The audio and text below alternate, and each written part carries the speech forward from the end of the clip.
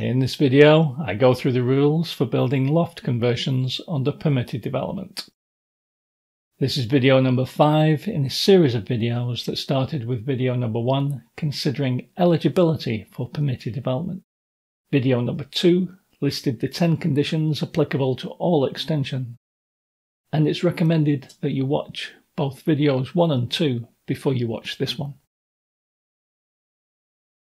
Class B provides PD rights for loft conversions, in other words, for the enlargement of a house consisting of an addition or alteration to its roof. This includes the addition of one or more dormer windows and the transition from a hipped roof to a gable end roof. Class B does not cover the installation of, class, of skylights as this is covered by Class C. PD rights are only available to the original building or as it was on 1st of July 1948. This means that PD rights are not available to raise the roof space on an existing extension. There's a limit on how much you can enlarge the original roof space. Original roof space means the roof space in the original building. Resulting roof space means the roof space as enlarged, taken into account any existing or proposed extensions, whether permitted by this class or not. The resulting roof space must not exceed the cubic content of the original roof space by more than 40 cubic meters for a terraced house or 50 cubic meters for other house types. The roof enlargement cannot overhang the outer face of any external wall of the original house. Roof extensions should be set back at least 20 centimetres from the original eaves, measured along the roof slope from the outside edge of the eaves, guttering not included.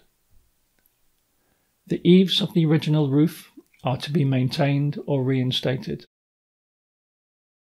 None of these three conditions, overhang, setback, and eaves, apply to a hip to gable enlargement or an enlargement which joins the original roof to the roof of a rear or side extension.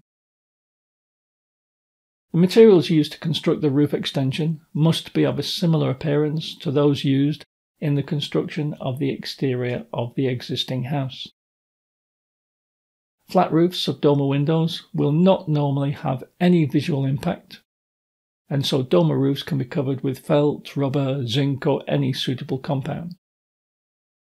The materials used to face a dormer, including window frames, should appear to be of a similar colour and design to the materials used in the main roof of the house when viewed from ground level.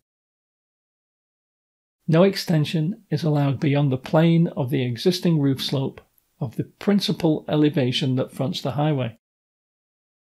This particular condition allows several interesting configurations for dormer windows. I'll start with a conventional configuration for a detached house, with a front door indicating the principal elevation. The hipped roof has a ridgeline parallel to the highway. This is the existing roof slope of the principal elevation, and it fronts the highway. No extensions are allowed beyond this plane. A dormer window can be added to the rear elevation under PD rules. The roof hips can be extended to gable ends to allow a larger roof extension.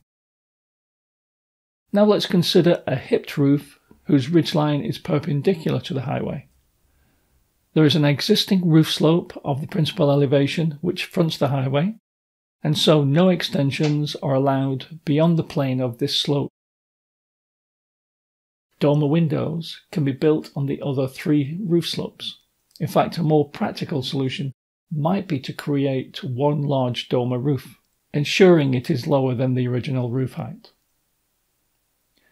If the house was originally built with gable ends, there is no roof slope of the principal elevation fronting the highway. This means that there is no condition excluding extensions beyond the plane of the roof slope. Two full width dormers can be added, or the entire pitched roof can be replaced by a mansard type roof.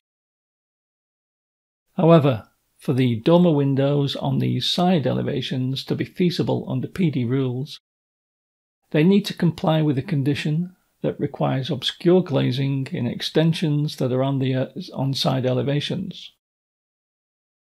Openable windows need to be at least 1.7 meter above floor level. If clear glazing is required, roof lights can be installed under Class C of the PD rules. Most loft conversions will need to be approved by building control. This will require the extension to conform with requirements for escape from fire, amongst other conditions. We're about two thirds the way through this video. If you're finding it useful, I'd appreciate a click on the thumbs up or the subscribe buttons below. And please don't hesitate to ask a question or make a suggestion in the comments as well. The phrases principal elevation and fronts the highway have particular meanings and they're discussed in video number two, all extensions. Two of the main points are a house has only one principal elevation, usually fronting the highway. And the second point is architectural features on a non fronting elevation may dictate that it should be the principal elevation. With these points in mind, Let's consider a detached house that does not have its principal elevation fronting the highway. In this scenario, the condition excluding an extension beyond the plane of the roof slope is no longer operative. We'll now consider four configurations. With a hipped roof and the ridgeline parallel with the highway, it is possible to add dormer windows on any or all of the roof slopes.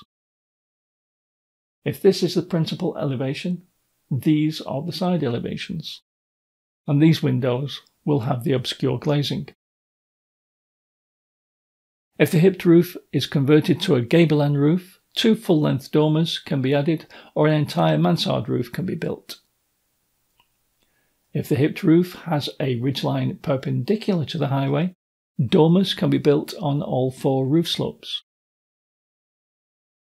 If the hipped roof is converted to a gable end roof, two full length dormers can be added or an entire mansard roof can be built.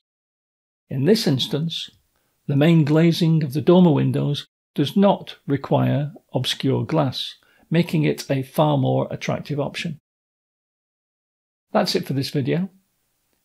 In the next one, video number 6, I'll go through the rules for adding outbuildings, roof lights, porches, etc., under permitted development. Thanks for watching.